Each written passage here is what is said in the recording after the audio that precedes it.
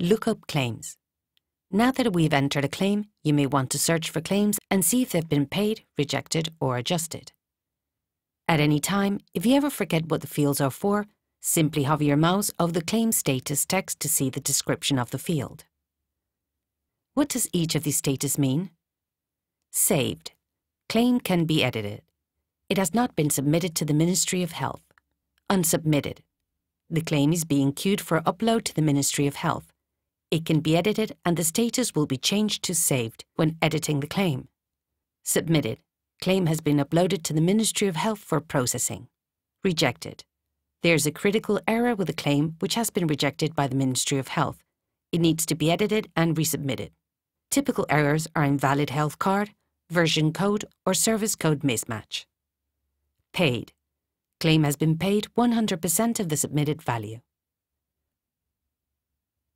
Adjusted payment. Claim has been paid under or over the submitted value. For example, if you submitted a claim with a total amount of $100 but received payment for 99, then the claim will be set at status adjusted payment. Archived. Claims that cannot be fixed can be archived for reference purposes.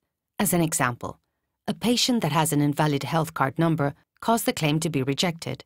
The patient cannot be reached to validate the correct number. As a result, the claim cannot be resubmitted and nothing can be done. Archiving the claim would allow you to keep all patient records in our system and facilitate month-end reconciliation.